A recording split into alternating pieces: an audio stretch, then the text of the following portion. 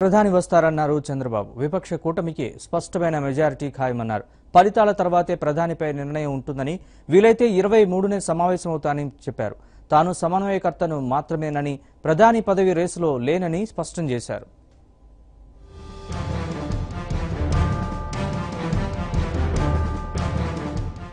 ఈ ఎన్నికల్లో బీజేపీ వ్యతిరేక కూటమికి అనుకూలంగా స్పష్టమైన తీర్పు వస్తుందని తెలుగుదేశం అధ్యక్షుడు సీఎం చంద్రబాబు పేర్కొన్నారు. గురువారం రాత్రి ఆయన కోల్కతాలో పీటీఐ వార్తా సంస్థకు ప్రత్యేకంగా ఇంటర్వ్యూ ఇచ్చారు. ఇటీవల జరిగిన అన్ని ఎన్నికలు ఉప ఎన్నికల్లో బీజేపీ ఓడిపోయిందని ఆ పార్టీపై ప్రజల్లో తీవ్ర ఆగ్రహం ఉందన్నారు.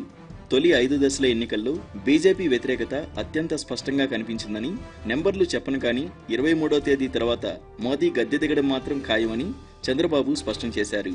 విపక్షాల తరఫున ప్రధాని ఎవరన్న ప్రశ్నకు బదులిస్తూ తామంతా బలమైన నాయకులేమేనని నరేంద్ర మోదీ కంటే ఎవరైనా మెరుగానని అన్నారు. ప్రధాని ఎవరన్నది ఫలితాల తర్వాత సమావేశమై నిర్ణయిస్తామని తెలిపారు.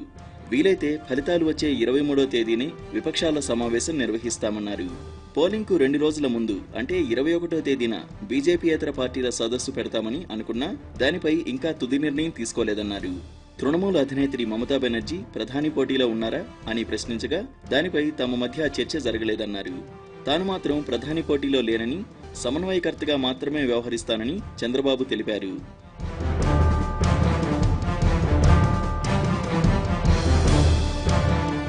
మోదీ కేవలం ప్రత్యర్థులపై బురద జల్లడం దాడి చేయడం విమర్శించడం తప్ప ప్రజలకిస్తున్న సందేశమేదీ లేదని చంద్రబాబు పేర్కొన్నారు. పాతికేళ్ళ క్రితం మరణించిన రాజీవ్ గాంధీని ఇప్పుడు ఎన్నికల్లోకి లాగడంలో హుందాతనం ఎక్కడుందని ప్రశ్నించారు. ఇంత హీనమైన రాజకీయాలు ఎప్పుడూ లేవన్నారు. బెంగాల్లో మోదీ అమిత్ షా పదే పదే తిరుగుతున్నప్పటికీ వారికి ఇక్కడ వచ్చే సీట్లేమీ ఉండవని చంద్రబాబు తెలిపారు.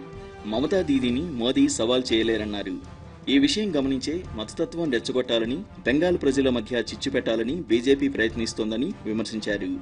ఎన్నికల సంఘం కూడా బీజేపీ తరఫున పనిచేస్తోందని తన విశ్వసనీయతను కోల్పోయిందని తెలిపారు. మరోవైపు ఒడిశా సీఎం నవీన్ పట్నాయక్ను మొన్నటి వరకు మోదీ తీవ్రంగా విమర్శించారని అక్కడ తమకు అనుకూల ఫలితాలు రావని తేలడంతో ఫని తుఫానుకు సాయం ప్రకటించడం ద్వారా నవీన్ను దగ్గర చేసుకోవాలని చూస్తున్నారని తెలిపారు. దేశవ్యాప్తంగా మోదీ వ్యతిరేక గాలి వీయడానికి తమ పార్టీయే కారణమని చంద్రబాబు తెలిపారు. వ్యవస్థలను బీజేపీ పతనం చేయడాన్ని వ్యతిరేకించామన్నారు. అన్ని పార్టీలను ఏకం చేసి ప్రజాస్వామ్య పరిరక్షణకు పోరాడామని ఇకపైన పోరాడతామని తెలుగుదేశంతో పెట్టుకున్నప్పుడే మోదీ పతనం ప్రారంభమైందని చెప్పారు. రాష్ట్రం కోసమే బీజేపీపై తిరగబడ్డానని స్పష్టం చేశారు. యాభై శాతం వీవీప్యాట్ రసీదులను లెక్కించాలన్నది తమ డిమాండ్ అని తెలిపారు.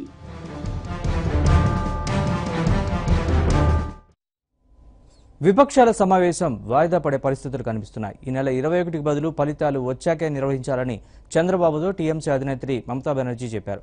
వీలైతే అఖిలపక్షం ఇరవై మూడునే భేటీ ఏర్పాటు చేద్దామని చెప్పినట్టు తెలుస్తోంది.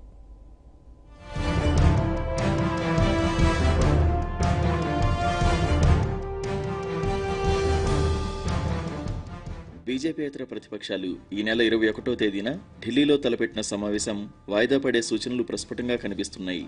పశ్చిమ బెంగాల్ సీఎం టీఎంసీ నాయకురాలు మమతా బెనర్జీ సూచనతో ఈ మార్పు చోటు చేసుకున్నట్లు సమాచారం. ఎన్నికల ఫలితాలు వెలువడిన తర్వాతే ఈ భేటీ నిర్వహిస్తే బాగుంటుందని ముందుగా అవసరం లేదని ఆమె అభిప్రాయపడినట్లు చెబుతున్నారు.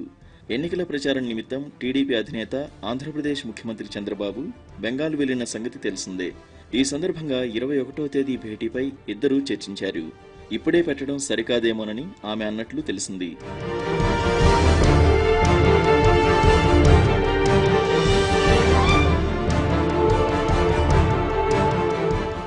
ఎన్నికల ఫలితాలు రాకముందే సమావేశం పెడితే కొన్ని పార్టీలు రావచ్చు ఎవరైనా రాకపోతే ప్రతిపక్షాలు చీలిపోయాయన్న ప్రచారం మొదలవుతుంది.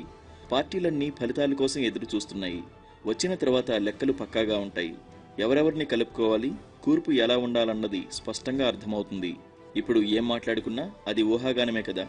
మీరు కూడా ఆలోచించండి అని ఆమె బాబుతో అన్నట్లు చెబుతున్నారు. ఆమె అభిప్రాయంలో కూడా కొంత వాస్తవం ఉండడంతో సమావేశం వాయిదా పడడానికే ఎక్కువ అవకాశాలున్నాయని టీడీపీ వర్గాలు భావిస్తున్నాయి.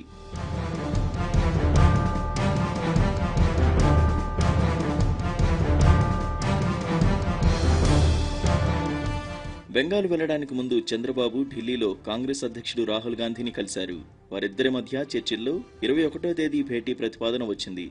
కేంద్రంలో ప్రభుత్వ ఏర్పాటుకు అవసరమైనన్ని సీట్లు రాకపోయినా బీజేపీ అతిపెద్ద పార్టీగా అవతరించే అవకాశం ఉందని దాని ఆసరాగా ప్రభుత్వ ఏర్పాటుకు ఆ పార్టీనే రాష్ట్రపతి రామ్నాథ్ కోవింద్ పిలిస్తే ఏం చేయాలన్న దానిపై వారు చర్చించారు. ఎన్నికల ఫలితాలు రావడానికి ముందే ప్రతిపక్షాలన్నీ కలిసి కూర్చుని మాట్లాడుకుని రాష్ట్రపతికి సంయుక్తంగా లేఖ రాస్తే దాని ప్రభావం ఉంటుందని అప్పుడు ఆయన ఏకపక్షంగా బీజేపీని ప్రభుత్వ ఏర్పాటుకు ఆహ్వానించలేరన్న అభిప్రాయం ఈ సందర్భంగా వచ్చింది.